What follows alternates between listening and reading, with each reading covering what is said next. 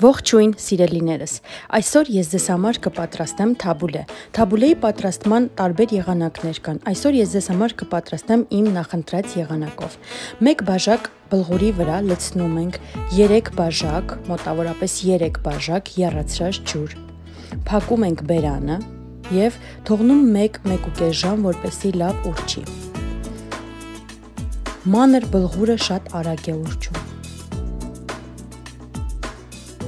Տեսեք, 1 ժամ է ընդամենը անցել եւ բլղուրը ամբողջովին ջուրը ներ է քաշել։ Հիմա լցնում ենք եւ քամում։ Շատ հետևողական ենք լինում, որ ամբողջ հեղուկը քամվի։ Հարկ եղած դեպքում նույնիսկ կարելի է տրորել գթալով կամ ձեռքով, որպեսի բոլոր հեղուկը քամվի։ Հետո մեզ անհրաժեշտ է կանաչ սոխ, 1 կապ խառը կանաչի, ես օգտագործում եմ կանաչի բոլոր տեսակները՝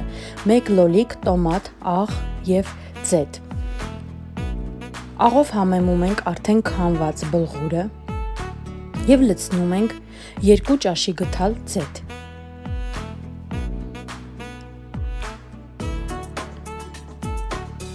Խառնում ենք բլղուրը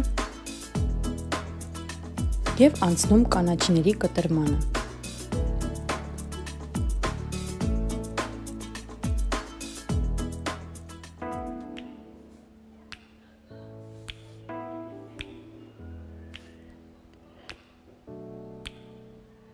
Ինչքան շատ լինի կանաչին եւ կանաչ սոխը, այնքան համեղ է ստացվում թաբուլեն։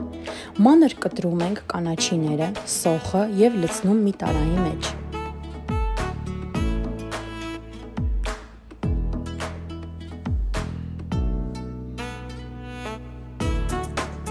Աշխատում ենք, որ ստացվի հնարավորինս մանր։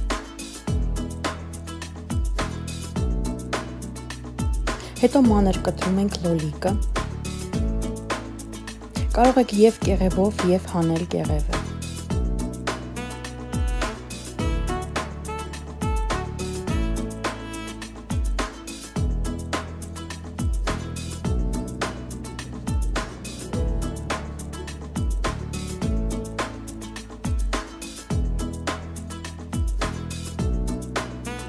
Ավելացնում ենք լոլիկը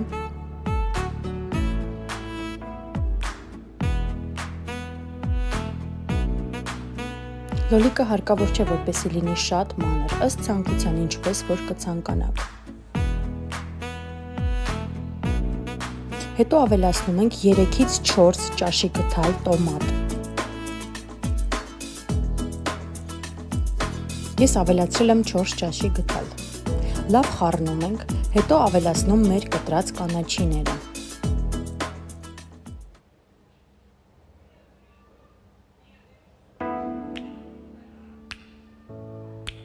Ես կտեղափոխեմ ավելի մեծ տարայի մեջ, որպեսզի կարողանամ ամբողջը լավ խառնել։ Վերջում ավելացնում եմ կես լիմոնի հյութ։ Շատ համեղ է ստացվում սիրելիներս լիմոնի հյութով։ Տեղափոխում եմ մատուցվող ամանի մեջ եւ պատրաստ է։ Փորձեք եւ չեք փոշմանի շատ համեղ է ստացվում այս եղանակով։ Բարի ախորժակ, բաժանորդագրվեք ալիքին։